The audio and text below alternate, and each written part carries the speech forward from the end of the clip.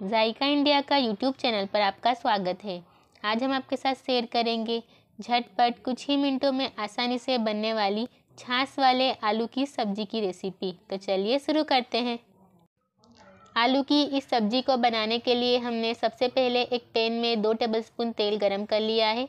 तेल गरम होने के बाद हम इसमें हाफ़ टी स्पून जीरा और दो चुटकी हींग ऐड कर देंगे। जीरे के चटकने के बाद हम इसमें ऐड कर देंगे उबले हुए आलू।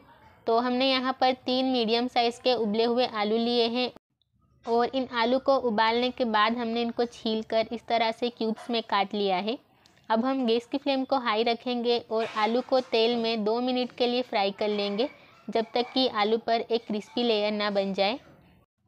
घर पर कोई सब्ज़ी ना हो और कुछ समझ में ना आए कि आज क्या बनाया जाए तो आलू और छाछ के कॉम्बिनेशन से बनने वाली इस मज़ेदार सी सब्ज़ी को आप ज़रूर ट्राई कीजिएगा। उम्मीद है आपको ये रेसिपी बहुत पसंद आएगी।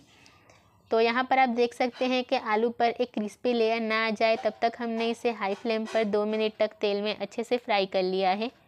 और अब हम गैस की फ्लेम को बिल्कुल लो कर देंगे और इसमें कुछ सूखे मसाले ऐड करेंगे। तो सूखे मसालों में हमने यहाँ पर ली है एक चौथाई टीस्पून हल्दी powder three by four teaspoon यानी कि पौना टीस्पून धनिया पाउडर, एक टीस्पून लाल मिर्च पाउडर और स्वाद अनुसार नमक, या फिर हाफ़ टी स्पून नमक। इन मसालों को हम आलू के साथ अच्छे से मिक्स कर लेंगे और मसालों का कच्चापन दूर होने तक हम इनको लो फ्लेम पर तीन से चार मिनट तक आलू के साथ भून लेंगे। तो मसालों का कच्चापन दूर होने तक हमने लो फ्लेम पर इसे दो से तीन मिनट के लिए पका लिया है। और अब हम इसमें छाछ ऐड करेंगे। तो हमने यहाँ पर एक कप छाछ ली है। इसे अच्छे से मिला लेंगे और अब हम इस सब्ज़ी को लो फ्लेम पर सिर्फ़ पाँच मिनट के लिए पकाएँगे। क्योंकि आलू ऑलरेडी उबले हुए हैं तो हमें सब्ज़ी को ज़्यादा देर तक नहीं पकाना। जब तक सब्ज़ी में गाढ़ापन ना आ जाए, तब तक हम इसे पकाएँगे।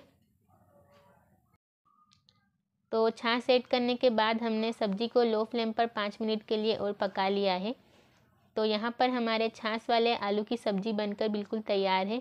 अब हम गैस की फ्लेम को ऑफ़ कर देंगे और इसमें ऐड करेंगे एक टीस्पून भुनी हुई कसूरी मेथी। हाथ की मदद से क्रश करते हुए हम इसमें एक टीस्पून भुनी हुई कसूरी मेथी ऐड कर देंगे। और इसी के साथ हम इस सब्ज़ी को हरे धनिए से गार्निश करेंगे और हमारी सब्ज़ी सर्व करने के लिए बिल्कुल तैयार है। सो so फ्रेंड्स झट से बनने वाली आलू की इस इंस्टेंट सब्ज़ी की रेसिपी आपको कैसी लगी, हमें कमेंट करके ज़रूर बताइएगा। और वीडियो को लाइक ज़रूर कीजिएगा। चैनल पर नए हैं तो मेरी आपसे हम्बल रिक्वेस्ट है कि ऐसी ही आसान सिंपल यूनिक रेसिपीज़ के लिए हमारे चैनल को सब्सक्राइब करके बेल आइकन ज़रूर दबाएँ। और रेसिपी ट्राई करने के बाद कमेंट बॉक्स में हमारे साथ अपने एक्सपीरियंस ज़रूर से शेयर करें।